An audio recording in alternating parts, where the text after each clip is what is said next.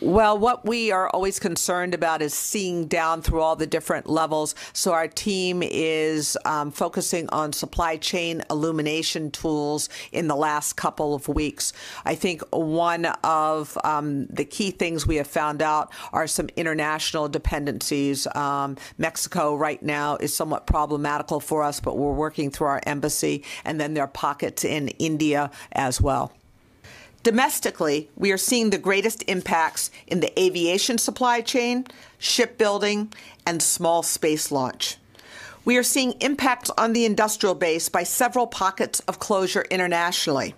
Particularly of note is Mexico, where we have a group of companies that are impacting many of our major primes.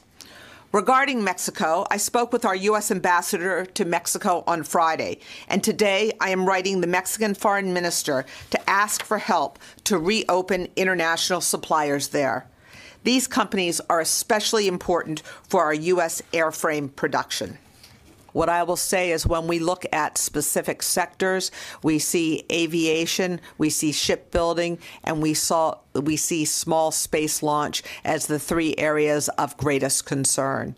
But again, we follow very carefully where um, the highest number of cases are um, throughout the country, and we look at the um, defense industrial base where they are located. So we try to anticipate the problems and work with the companies to keep going to the greatest degree possible.